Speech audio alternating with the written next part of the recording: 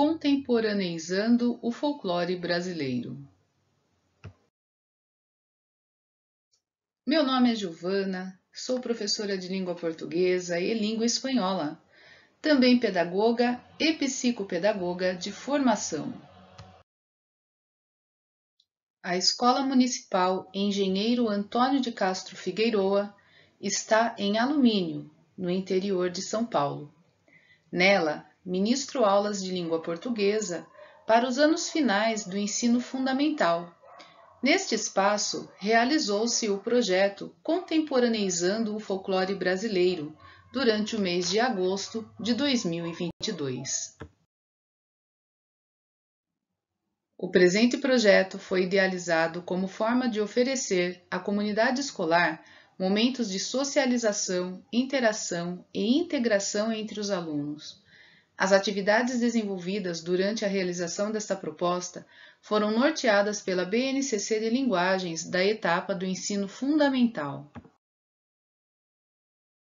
Percebendo-se vários problemas comportamentais e de socialização no pós-pandemia, buscou-se uma forma de integrar toda a escola no período da tarde, anos finais do ensino fundamental, principalmente os alunos dos oitavos anos, oportunizando à comunidade escolar, alunos, funcionários e professores, através das atividades desenvolvidas, momentos de descontração, aprendizagem e resgate da cultura brasileira.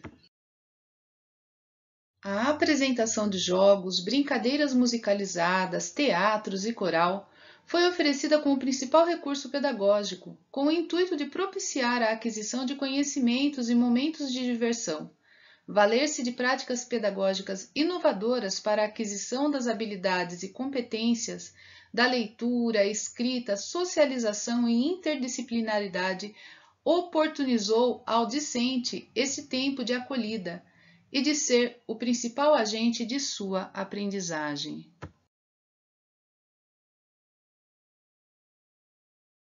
É importante ressaltar que o sucesso do projeto é resultado do comprometimento e suporte da família Figueiroa, equipe gestora, direção, secretaria, biblioteca, inspetores de alunos, limpeza, merenda e docentes que apoiaram em tudo o que foi necessário.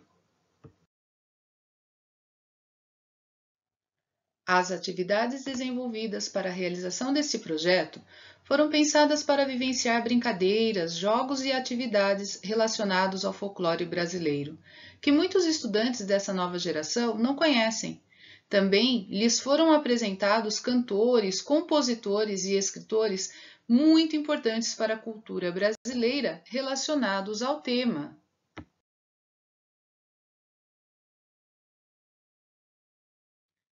Como produto final, houve, por exemplo, interações entre os grupos dos anos finais e os anos iniciais, com alunos dos oitavos anos trabalhando o lúdico, apresentando teatros interativos às crianças, contando as lendas brasileiras. Também aconteceu uma tarde de brincadeiras culturais. Nesta data, os presentes participaram das atividades que foram organizadas em diversos pontos da escola. O mais interessante neste dia foi o registro de que os adolescentes ficaram tão entretidos que não se via um usando um aparelho eletrônico.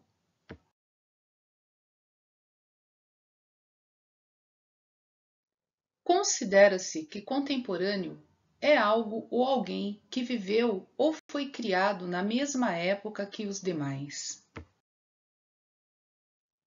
Para nós, as lendas, brincadeiras, histórias do folclore são muito antigas. Portanto, quando trazemos e incorporamos ao nosso dia a dia, nem que seja por pouco tempo, através da prática de brincadeiras, do uso das lendas com móveis e jogos de tabuleiro, o resgate de cantores, autores, compositores, escritores, povos e culturas que influenciaram nosso folclore, estamos tornando contemporâneo. Assim, justifica-se o neologismo, ou seja, a nova palavra contemporaneizar criada para esse projeto. Obrigada a todos, obrigada pela oportunidade.